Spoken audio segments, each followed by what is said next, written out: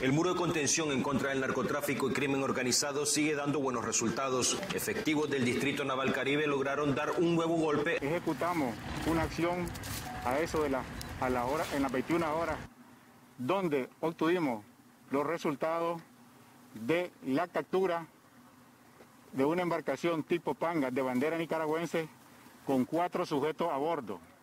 Durante el sondeo a esta embarcación se le encontró una fuerte cantidad de dinero, de moneda en dólares, la que fue retenida. La embarcación, teníamos información de que realizaría una transacción de compra y venta de droga.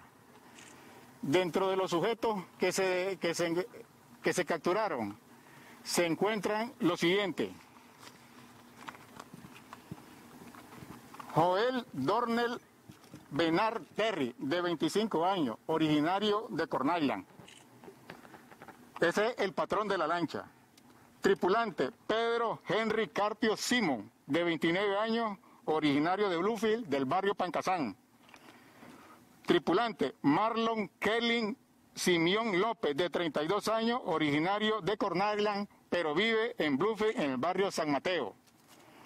Tripulante Jerry Yuri Meregildo Wilson, de 20 años, originario de Tabapone. Este es el resultado del muro de contención permanente que mantiene el Distrito Naval Caribe en las aguas del Caribe nicaragüense. Como resultado, esta suma de dinero incautada más un revólver.